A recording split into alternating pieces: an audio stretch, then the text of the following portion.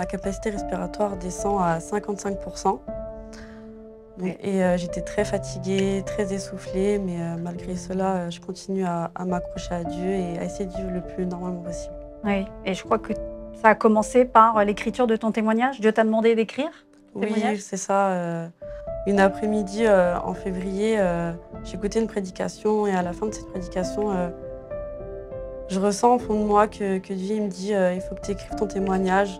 Écris que ton histoire est sans mettre de date. Écris que tu seras guéri mais sans mettre de date.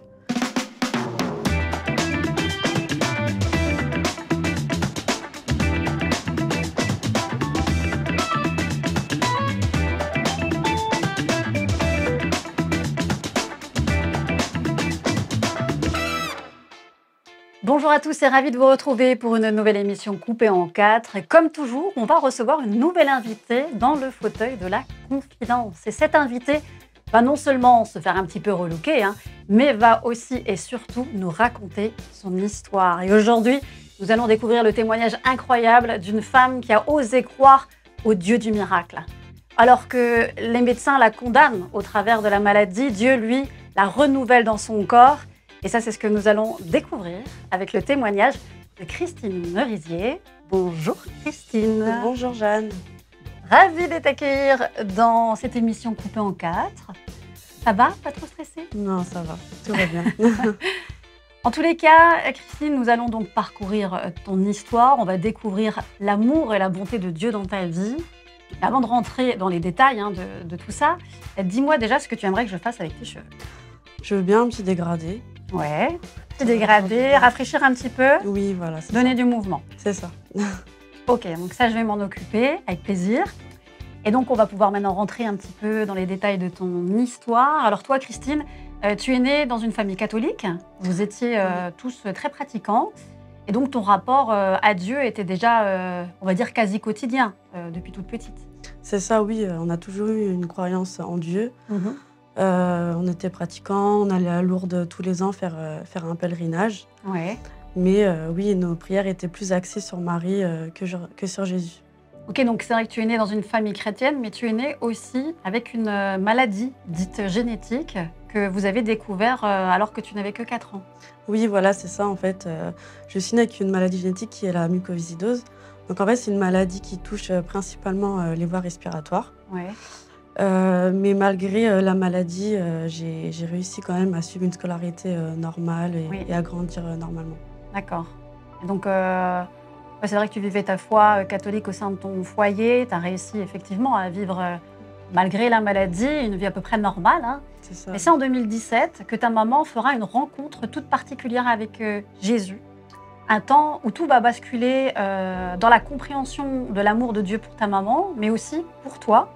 Et ça, c'est ce que tu vas nous expliquer dans la partie coupe de cette émission Coupée en quatre.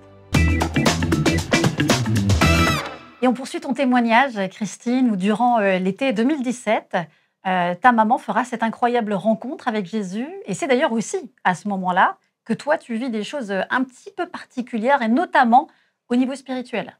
Oui, c'est ça. En fait, ma mère a rencontré Jésus durant ses vacances en Hollande. Et euh, moi, au même moment en France, euh, j'ai commencé à, à vraiment me sentir pas bien, à avoir des angoisses euh, inexpliquées, des peurs. Du coup, euh, j'appelle ma mère, je lui explique et ma mère a fait tout de suite le rapprochement. Elle, comp- elle comprend en fait ce qui se passe. C'est-à-dire, elle fait le rapprochement entre le Entre- fait qu'elle, elle ait fait cette rencontre avec Jésus et que toi, au même moment, tu vis des attaques spirituelles? Oui, voilà, c'est ça. Pour elle, c'était lié et, et c'était une conséquence en fait de, de sa rencontre euh, avec Jésus. Oui, parce que quand tu dis, par exemple, euh, oui, j'ai eu des, des peurs et des angoisses inexpliquées, c'est-à-dire qu'avant, jamais, jamais, tu n'avais souffert de ça. Non, non, non, jamais. C'était vraiment, c'est vraiment arrivé euh, du jour au lendemain. D'accord. Et euh, c'était compliqué de, de Ça comprendre ce qui m'arrivait. Bah, par exemple, dans la journée, euh, sans raison, j'étais angoissée. Euh, je trouvais plus le sommeil, alors qu'il n'y avait aucune raison particulière, parce que, entre guillemets, tout allait bien dans ma vie, euh, je travaillais, enfin... euh, et euh, oui, j'étais angoissée, euh, j'avais plus envie de rester toute seule. euh. Tu avais des peurs, quoi. Voilà, c'était vraiment des peurs, des peurs ouais, qui venaient de, de nulle part. Mhm. Et donc ta maman, elle fait le lien avec justement son rapprochement avec Jésus. Donc du coup, elle réalise que toi, tu as des attaques personnelles Et qu'est-ce qui se passe? Tu, tu vis toi aussi, du coup, une rencontre avec Jésus au travers de ça? Oui, alors ça s'est pas fait tout de suite. Euh, mais c'est vrai qu'à travers cette épreuve, du coup, on a voulu trouver refuge auprès de Dieu pour que vraiment euh, ça puisse s'arrêter. Oui. Et euh, dans cette épreuve, en cherchant Dieu, en cherchant vraiment une solution, j'ai rencontré Jésus. Et ça s'est fait d'une manière vraiment naturelle. J'ai vraiment abandonné toutes les prières pour Marie. Et Oui, parce que tu, tu priais que Marie? Oui, c'était Marie. Ok. On priait vraiment que Marie. Et à travers cette épreuve, je sais que Dieu euh, a permis cela pour que vraiment il puisse me transformer et que je puisse vraiment euh, m'abandonner euh, à Jésus. Mhm. Et c'est donc dans, dans- les épreuves, comme tu dis, que tu expérimentes la puissance de l'amour de Dieu au travers bah, de la délivrance, hein, de cette angoisse finalement. Et c'est aussi après que tu lui as réellement donné ta vie que tu vivras également la puissance de la guérison divine. Et ça, c'est ce que tu vas nous expliquer dans la partie coiffage de cette émission coupée en quatre. Alors toi, Christine, tu nous le disais hein, au début de ton témoignage, euh, tu es née avec une maladie dite génétique euh, que vous avez découvert lorsque tu n'avais que 4 ans. Atteinte de la mucoviscidose, c'est à l'âge de 10 ans que ton état a réellement commencé à se dégrader? Oui, c'est ça. J'ai commencé à faire euh, des cures d'antibiotiques par perfusion pour essayer de, maîtriser les infections pulmonaires à répétition. Ah, c'était les infections pulmonaires Oui, c'est ça. En fait, c'est ça qui attaque euh, les voies respiratoires. D'accord. Et c'est donc à l'âge de 10 ans que, que ça s'est dégradé Oui, c'est ça. jusqu'à jusqu'à quel âge? Jusqu'à. Après, ça s'est maintenu jusqu'à 21 ans. Oui. Et à 21 ans, ça s'est euh, dégradé euh, davantage. Encore plus. C'est ça, oui. Ce qui nécessitait des cures antibiotiques tous les trois mois, qui duraient à peu près une quinzaine de jours. D'accord. Donc la mucoviscidose, hein, c'est pas une maladie facile à gérer quand elle prend de l'ampleur comme ça.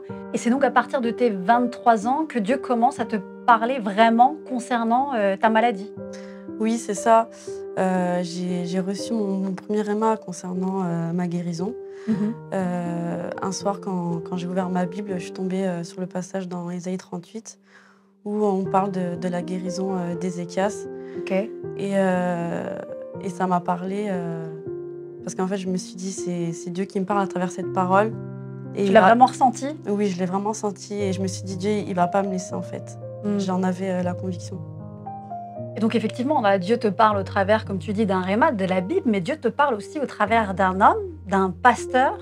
Mais pourtant, et ça c'est en 2021, je crois, bah, ton, ton état euh, continue à se dégrader. Oui, oui, c'est ça, il continue à se dégrader. Euh, ma capacité respiratoire descend à 55%. Donc, Ouais. Et euh, j'étais très fatiguée, très essoufflée, mais euh, malgré cela, je continue à, à m'accrocher à Dieu et à essayer de vivre le plus normalement possible. Oui. Et je crois que ça a commencé par l'écriture de ton témoignage. Dieu t'a demandé d'écrire. Oui, c'est ça. une après-midi en février, j'écoutais une prédication et à la fin de cette prédication, je ressens au fond de moi que, que Dieu il me dit euh, il faut que tu écrives ton témoignage. Écris que ton histoire est sans mettre de date. Écris que tu seras guéri mais sans mettre de date. Alors Oui. euh, je le fais, je trouve ça fou, c'est vrai, mais je le fais. J'écris mon histoire et, et euh, je dis que je serai guérie et sans mettre de date en, en attendant que, que ça se fasse Donc, tu couches ça sur le papier en disant Ok Seigneur, je veux bien écrire que je vais être guéri sans donner de date. C'est ça, oui. Et pourtant, le pasteur, il te dit, euh, il prie pour toi et il te donne une parole, mais ça va pas mieux. C'est ça, ça continue de se dégrader encore malgré ça. Ouais. Euh, le pasteur euh, prie pour moi et en fait c'est un pasteur qui a, qui a souvent des, des paroles euh, prophétiques Ok. et il me dit je vois que, que tu as écrit quelque chose et à travers cet écrit Dieu va intervenir. Euh, il me laisse euh, le verset dans Habakkuk 2 qui parle euh, d'une prophétie qui va s'accomplir dans le temps. Et euh, ce qui est incroyable, c'est que ce pasteur-là, il savait pas du tout que j'avais écrit mon témoignage un an auparavant. Et c'est euh, C'était un an auparavant? oui, j'avais écrit mon témoignage un an auparavant. Et là, il me dit en fait que Dieu va, va agir à travers ce que j'ai écrit en fait. Et c'était mon témoignage. D'accord. Et comment tu as vécu ça, du coup? Comment ça s'est passé, cette guérison? Comment tu as eu la, la guérison divine, finalement, après tout ça? Alors la guérison, euh, je l'ai eue à, à travers un, un traitement. Mais euh, encore une fois, euh, Dieu m'avait parlé. Trois mois avant, j'ai fait un rêve Oui. où, où je prenais un, un traitement. Et ce traitement, il était d'une certaine couleur, il était rose. Et une fois que, que j'ai reçu ce traitement, quand j'ai ouvert la boîte de médicaments, j'ai vu que bah, qu'il était rose comme dans mon rêve. D'accord. Donc en fait, euh, c'était une période où tu devais changer de traitement, euh, sauf que c'était plus le même. Et c'était euh, comme si Dieu t'avait prévenu que tu allais avoir un nouveau traitement et qu'il allait se passer quelque chose de spécial au travers de tout ça? C'est ça, en fait, c'est un nouveau traitement et qui n'agit pas sur tout le monde. Je l'ai essayé et du jour au lendemain, une fois que j'ai pris ce traitement, j'ai réellement senti une différence dans mes poumons. Euh, J'étais plus fatiguée, je toussais plus, je respirais vraiment euh, comme une personne normale. Et euh, ça s'est vra- fait vraiment euh, du jour au lendemain. Et Dieu, tout ça m'avait prévenu avant. À l'avance? Oui, c'est ça. Et les médecins, ils en ont pensé quoi? Alors, mon médecin a été vraiment surprise de mes résultats parce que, du coup, quand je suis retournée la voir, j'étais plus à 55% de capacité respiratoire, mais à 94%. Et euh, elle était tellement surprise et, et contente à la fois qu'elle a pris mes résultats pour les envoyer euh, bah, aux autres médecins pour leur dire que c'est incroyable, tellement que ça arrive pas souvent. D'accord. Donc pourtant, euh, c'était un nouveau traitement. Je veux dire, c'est quelque chose qui venait d'eux, de leur part, et elle était surprise de, des résultats de ce traitement. Oui, parce qu'en fait, habituellement, euh, il n'y a pas une progression euh, comme celle-ci. Il y a la capacité respiratoire euh, s'améliore, Mais pas là- autant. Mais pas autant. Et là, j'avais vraiment plus rien. En fait, mes poumons, euh, je sais que c'est Dieu qui a permis à travers ce traitement que mes poumons soient totalement régénérés. D'accord. Et toi, du coup, comment tu, tu l'as vécu de ton côté? Est-ce que euh, ton médecin, par exemple, euh, savait que tu étais chrétienne Oui, oui, oui. elle le sait, mais pour elle, c'est que la médecine. que la et, médecine. et- et toi, tu l'as vécu comment? Parce que, mine de rien, tu aurais pu te dire euh, oui, mais c'est surtout grâce au traitement. Qu'est-ce qui, a fait que toi, tu te dises euh, moi, je sais que c'est Dieu? Tout simplement parce que Dieu euh, m'a parlé, il m'a prévenu que j'allais guérir et, et après j'en ai la conviction tout simplement que c'est que c'est uniquement Dieu. Ouais. De toute façon, tu l'as vécu vraiment autrement. C'est assez miraculeux hein, que tu aies pu récupérer tout ça au niveau de ta respiration, comme ça a été, comme ça a été le cas pour toi. oui. C'est rare. En tout cas, Dieu est grand, il est bon euh, envers nous, envers toi, Christine. Sa faveur, elle est, elle est sur toi, c'est clair. Et c'est si beau euh, d'ailleurs à voir. Et d'ailleurs, de belles choses encore en perspective hein, pour toi euh, dans ta vie, puisque de nouveaux projets aussi arrivent, et notamment dans ton église. Et ça, c'est ce que nous allons découvrir dans la partie finition de cette émission coupée en quatre. Alors ça y est, Christine, je finalise euh, ta coiffure euh, et toi, tu nous partages encore ce témoignage puissant, témoignage de guérison juste euh, extraordinaire. Alors on en parlait un petit peu en off, là j'improvise un peu, mais c'est vrai que tu disais que finalement, trois mois à peine après être guérie de la mucoviscidose, tu tombes enceinte. Oui, c'est ça. Je tombe enceinte et, et par la grâce de Dieu, j'ai vu vraiment une grossesse incroyable. Je me suis pas arrêtée de travailler. J'ai pas été une seule fois essoufflée malgré que j'étais enceinte. Donc, euh, Oui, parce que moi j'ai été enceinte quatre fois, et notamment la dernière grossesse, elle est de pas très longtemps, j'ai un bébé de six mois, et j'étais mais essoufflée de, du 4 mois jusqu'à 9 mois, euh, j'étais au bout de ma vie. hein. Et donc toi, tu ressors de la mucoviscidose, tu es enceinte juste trois mois après, et pas un essoufflement. Ah oui, non, j'avais rien du tout. Euh, j'ai continué de chanter dans mon église, euh, je continuais à m'occuper de la maison. non, vraiment, tout allait bien. Extraordinaire, euh. Christine. Alors justement, euh, concernant les nouveaux projets qui font partie de ta vie après tout ça, eh ben, c'est justement de chanter dans ton église. C'est ça, oui. Ouais. Donc, j'ai intégré euh, le groupe de louanges il y a environ 4 ans. Ouais. Et du coup, je, je sers dans mon église, dans le groupe de louanges. Et j'ai comme projet de, bah, de continuer dans ce ministère. Ah, mais c'est quand même une belle revanche de se dire j'étais à souffle coupé Mm. Et aujourd'hui euh, je te renvoie ce souffle, Seigneur, Oui, dans oui, la louange. C'est quand même un beau clin d'œil aussi que toi tu fais à Dieu Exactement. et que Dieu te fait en t'utilisant au travers euh, euh, ben, de la louange et du chant. C'est ça. Même avant que je sois guérie, euh, j'avais commencé du coup à chanter. Et c'est vrai que c'est une grâce incroyable que, que Dieu me fait de, de m'utiliser, même avant quand, quand j'étais malade. T'arrivais déjà à chanter avant? Oui, j'arrivais. Après, je sais qu'il m'aidait énormément. Je priais pour pas, pour pas tousser euh, en, plein, en pleine chanson, mais ça, c'est jamais passé du merci. Ouais, super. En tout cas, moi, je trouve ça juste euh, enfin, tellement encourageant de voir à quel point Dieu il est capable de faire euh, tellement plus que tout ce qu'on aurait pu penser ou imaginer. Euh, un témoignage qui donne de l'espérance, Christine, et je le crois à bon nombre aussi de personnes qui nous regardent, qui nous écoutent. Dans une petite poignée de minutes, nous allons aussi découvrir le conseil que tu aimerais que nos internautes gardent sur leur cœur. Et ce conseil, il arrive très vite avec le dernier regard dans le miroir, puisque tu vas bientôt te découvrir.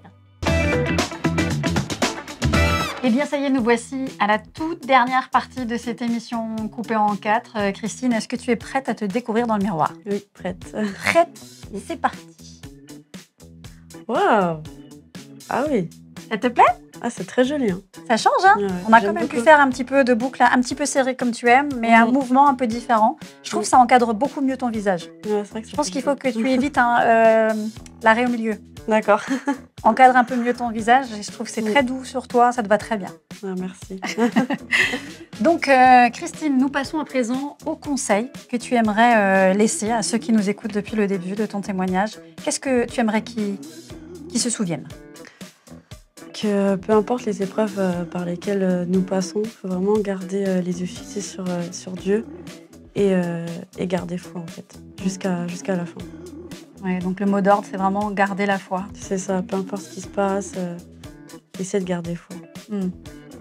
Merci beaucoup, euh, Christine, pour ton témoignage, pour ton précieux conseil. C'est vrai qu'il faut garder la foi. Et moi, le défi euh, que j'ai aussi à cœur de vous lancer cette semaine, les amis, c'est de ne pas vous laisser abattre par vos pensées négatives. Oui, parfois, on peut euh, se surprendre à penser des choses comme ouais, enfin c'est bon, euh, c'est fini pour moi, ou encore ce fameux je ne me sens pas capable.